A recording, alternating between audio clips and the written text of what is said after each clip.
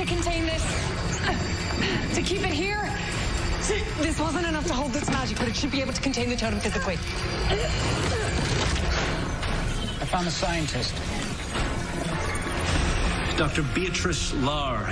She was working on Project Bolt and attempted to harness lightning energy until she lost her funding this morning. It has to be her.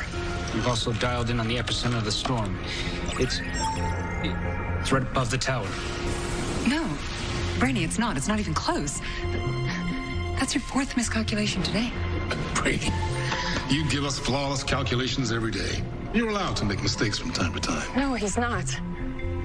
You've been affected by the totem. That's ridiculous. What's the one thing a Coluan doesn't have the courage to do? You're wrong in his calculations? Oh. Have I just spent all day guesstimating? I, I'm, I appreciate your newfound courage, but we need to have a plan. Alex. Where's Alex? She must have rushed out. That is just like her. Always thinking of others before herself. We've located the epicenter of the storm. It's clustering over the waterfront. Let's go. Hopefully we can find Dr. Lar and Alex there.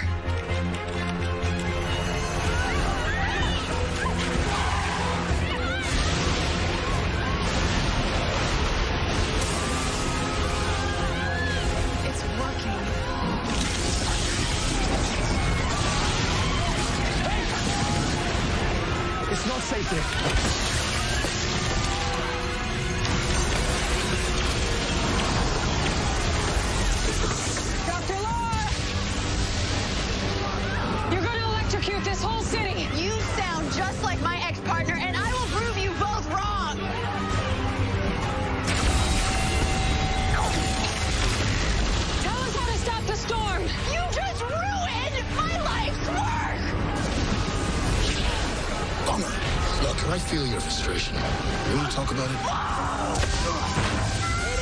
Supergirl, that last strike was 800 megajoules. At this rate, we're minutes away from a strike that could electrify the whole harbor and anyone nearby.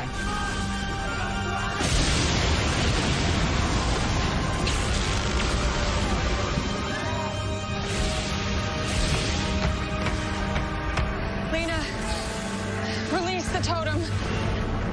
Can still pass the test. But if I fail, it will get worse. I need my team functional. I need Dr. Lar